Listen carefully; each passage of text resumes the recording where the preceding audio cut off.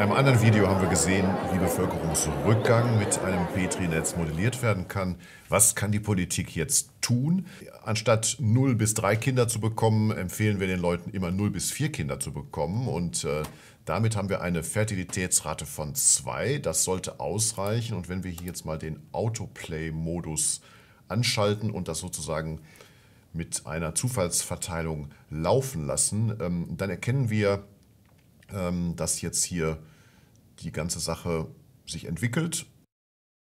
Ein interessanter Nebeneffekt ist, dass wir immer mehr Kinder haben, hier bei den Kinderreichen und dass die nur sehr zögerlich aufwachsen, sozusagen nur, wenn sie unbedingt müssen. Das liegt hier an unserem Petri-Netz-Modell. Aber wir sehen, dass die Zahl, die ursprüngliche Zahl 50, die ist immer noch so ungefähr hier da und äh, das wird höchstwahrscheinlich immer so weitergehen.